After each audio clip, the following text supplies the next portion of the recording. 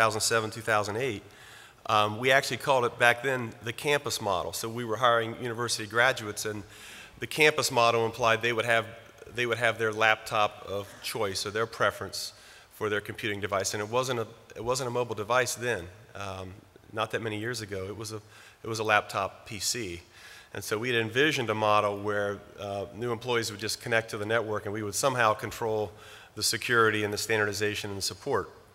But obviously what happened in retrospect is the, you know, the ship share of smartphones really, you know, was catching up with the PCs. So overnight we found ourselves in a conundrum where we needed to implement the BYOD model with the uh, smartphone, smart devices and pads uh, out in front of, actually out in front of the laptops. So we still standardize on you know, Wintel, uh, Dell standard laptop inside the company, but we've opened up uh, to a democratic choice and in effect have, uh, to some extent, divested the uh, device investment to, to the employee.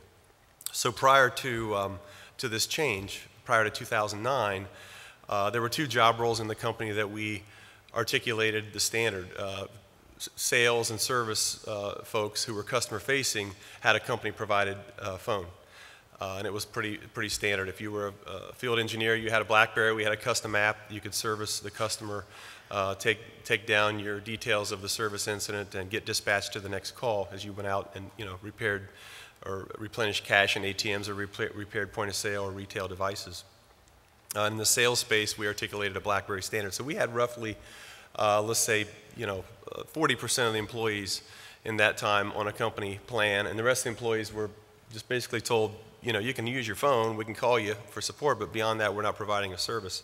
We opened that up uh, around about uh, late 2008, early 2009, and at that time we said, well, we'll, we'll support two. We'll support a BES email and a, and a Microsoft Exchange email. We thought that was state of the art then. We had two email servers, and we thought everybody would be happy.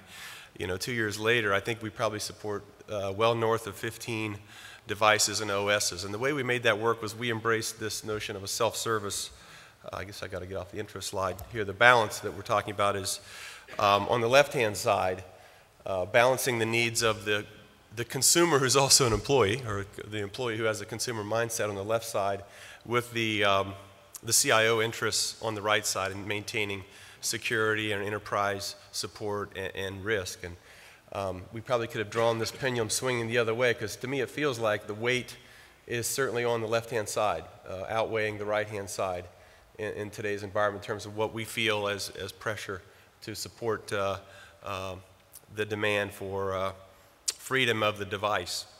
So with the happy medium we sort of found was 60% of our employees now have a smartphone. Of those 60% um, that they have a choice, uh, they're picking the uh, iPhone or they're picking the Android generally, and the other 40% are falling in that other category uh, with a range of devices, you know, whether it's Symbian or MS Mobile or or what have you. Uh, there's a whole plethora of other niche devices there. We, we just require two things, and that's that we can, um, we can encrypt the data and that um, uh, we can remotely wipe in the case the device gets stolen or lost. So those are the two basic premise. Beyond that, the employee comes to a website, they sign up, and then we actually guide them on um, who the service providers are, whether it's AT&T or Verizon or, or Sprint. We, we don't really care. We get in there and help you know, with, with employee discounts, but beyond that, uh, the employee manages the device. So we have, in effect, you know, divested the overall device management issue while still maintaining a balance of,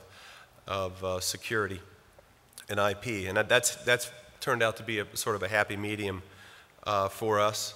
Uh, we maintain an innovation council whereby employees both from IT and the business you know, sit down and, and bring ideas for applications to, to the forefront.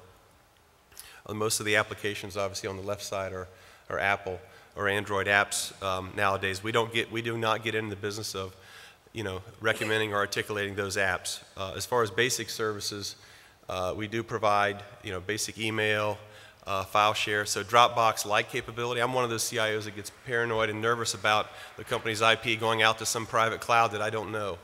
I don't, haven't met the private cloud provider and don't have you know, contracts necessarily with these public clouds, so I get very concerned. So right out of the gate, we wanted to provide uh, you know, a store capability, a, a Dropbox-like capability, if you will, inside our internal cloud and make that readily available to, to folks who were uh, embracing the pads and the phone. So that, that was a, uh, a high priority um, for us in basic file sharing. And so that's, that's kind of short and sweet the way it works for us.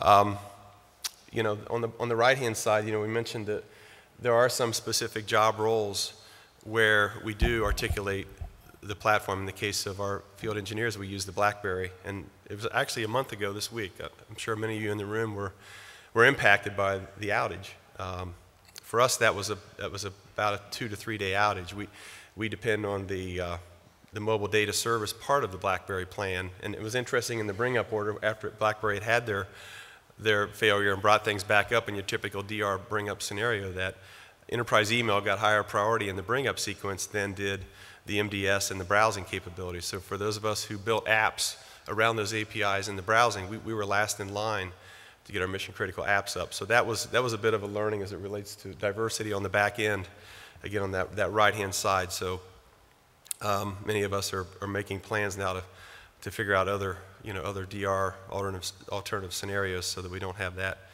again. So that's, that's sort of my, um, my, my case study, if you will, um, in, into the journey, and just thought I'd share that as, as part of my talk track.